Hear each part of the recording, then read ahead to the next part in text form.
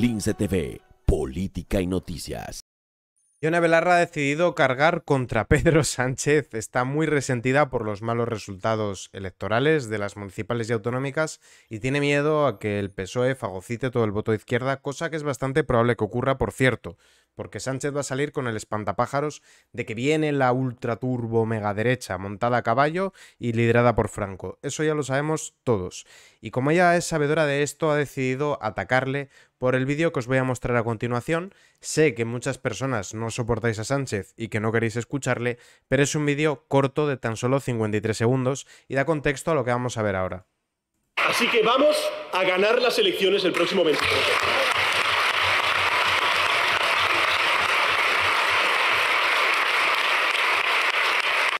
Llama la atención que le aplauden todos como focas después de decir algo tan nimio como que van a ganar las elecciones, un argumento que está más que manoseado y que lo dicen todos los partidos en época de campaña. Porque por muy poderosos que sean los poderes que hay detrás, a la hora de la verdad, en una urna, vale lo mismo el voto de un conductor de autobús que el del propietario de un canal de televisión de poderosos cuando él cuenta con el apoyo del IBEX 35, de los medios de comunicación, del CNI, de agentes internacionales, empresarios del foro de Davos, sindicatos, parte de la patronal. De hecho, se podría decir que son los dueños del país. El PSOE State of Mind está muy implantado y manejan todos los cotarros. Por controlar, controlan hasta Correos e Indra. Sería una buena pregunta si esos poderosos están ahí con él o son parte de su imaginación.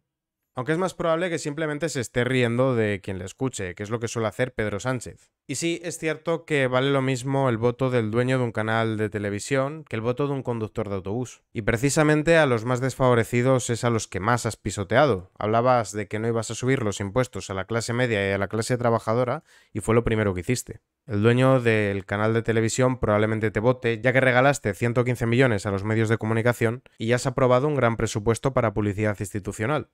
Cuenta lo mismo el voto de una cajera en un supermercado que el del presidente de un banco. Así es, Ana Botín es tu gran amiga, mientras que no haces sino atacar a Mercadona, que es quien paga la nómina a esa trabajadora.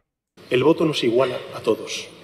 Así que todo depende de lo que vote la gente. Así que Así que todo depende de lo que vote la gente. Lo que importa es lo que vote la gente y precisamente por eso has convocado unas elecciones el 23 de julio para intentar que haya la máxima abstención posible con lo cual el voto de la gente no te ha de importar demasiado. Y a partir de estas palabras es que Yone Belarra ha decidido cargar contra Sánchez.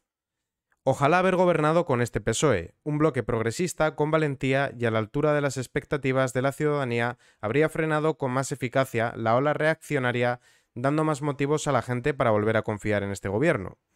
Y continúa, ¿os imagináis haber aprobado la ley de vivienda vía decreto en 2020? ¿Os imagináis haber construido una radiotelevisión española que no fuera rehén del bipartidismo?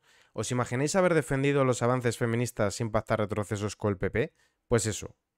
Y los votantes del PSOE se la han echado encima, pero primero me gustaría rebatir un par de cosas. Yone Belarra habla de una ola reaccionaria. No, amiga, tal ola reaccionaria no existe. Lo que pasa es que estabais muy acostumbrados a que la gente no se significara por el temor a que les llamen facha, machista, racista, y esa superioridad moral de la izquierda os hacía ser los buenos de la película, ¿no? Un país que entendía soy de izquierdas como soy buena persona.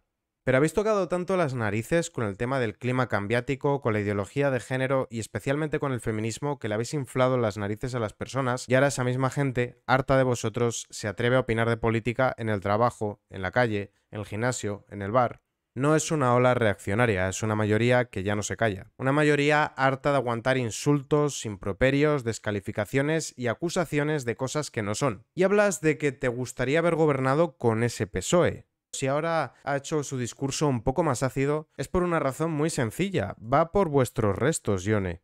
Yo sé que eso es lo que te preocupa, no que según tú el PSOE haya sido tibio en el gobierno. Lo que a ti te molesta es que si radicaliza su discurso, y además mete miedo con que viene la malvada ultraturbo derecha, pues entonces todo el voto que antiguamente era de Podemos se reparta entre PSOE y Sumar. Eso te tiene nerviosa, ¿verdad? Que te digan Choriburu, Agur. Pero son las consecuencias de haber desgastado las palabras extrema derecha, fascismo, ultraderecha, nazi. Tanto estigmatizar al adversario crea un relato, y ese relato lo está aprovechando ahora el PSOE. Ya ha sido apoteósico ver cómo la gente se le ha echado encima, muchos de los cuales son votantes del PSOE. ¿Te imaginas no haber frito a la gente con un discurso de género? ¿Te imaginas haber hecho una campaña con discursos de clase más allá de una pancarta en el barrio de Salamanca? ¿Te imaginas haber llegado a acuerdos con otros partidos de izquierda para que los votos contaran? Y también le agregan, lo que me imagino es un gran frente común de la izquierda haciendo campaña en positivo, explicando todo lo que se ha conseguido y todo lo que el PSOE ha frenado, apelando a todo Dios a darnos más fuerza para ganar un nuevo país, superar el bloqueo del PSOE y parar a la ultraderecha, en resumidas cuentas, que Yone Belarra se quite de en medio y que deje las riendas a Yolanda Díaz. Y otro le dice, me imagino ustedes con altura de miras una estrategia inteligente dejando a un lado pequeñeces que identifican al adversario, ponen en valor la acción del gobierno para continuar la labor. Imagine que los beneficiados por estas medidas del gobierno actual lo reconocieran al ir a votar. Pero a Yone Belarra eso no le importa. Yone Belarra simplemente está preocupada porque ve las orejas del lobo y está muy cómoda viviendo de lo público. Ahora es la señora ministra, mañana ya no sé. ¿Y qué decir de las nóminas? ¿Y qué decir de utilizar los coches oficiales y el Falcon? ¿Qué rápido se acostumbra uno a lo bueno y cuánto cuesta acostumbrarse otra vez a lo malo? Hay quien dice que es mejor no haberse enamorado nunca a haberse enamorado y sufrir el desamor. Y esto debe de ser algo parecido. Igual es mejor no tocar nunca el poder para no tener que sufrir el perderlo, que es justamente lo que le está pasando a Podemos. Ellos eran muy felices con el tú no sabes quién soy yo, les gustaba eso de avasallar a civiles como propietarias de pisos, como padres de hijos secuestrados como Rafael Marcos. Se sentían poderosas atacando a la prensa, señalando a los empresarios, acusando de capitalista despiadado a todo aquel que no asuma la agenda política de esta gente. Y ahora tienen muchas cuentas que pagar. Lo cómodo en la vida es no hacerse enemigos, porque se gana más con miel que con hiel. Y es evidente que lo que les sobra ahora mismo son enemigos, lo que no les sobran son votantes. Yone, ahora os toca cosechar todo el mal que habéis causado. Lo lamentable es que nos habéis dejado a Pedro Sánchez ahí. Que por cierto, y esta es la parte triste, sí que es posible que Pedro Sánchez pueda volver a gobernar.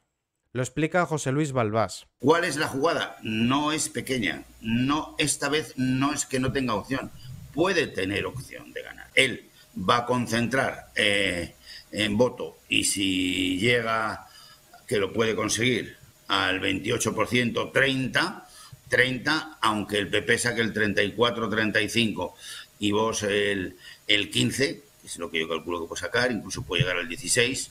Eh, entonces, claro, aquí esto va a quedar como, dos frente, como un frente popular. O sea, en el otro lado solamente va a, haber va a haber una extrema izquierda, que supongo que sea lo de sumar más lo de, lo de, lo de Pablo Iglesias si juntan esa extrema izquierda y tiene un 12%, tela marinera, ¿eh? cuidadito con la jugada. Sánchez lo que haría sería apoyarse esta vez, sí, dentro del gobierno, en los partidos independentistas de izquierdas, es decir, es que Bildu, y podría llegar a conformar una mayoría suficiente como para volver a gobernar.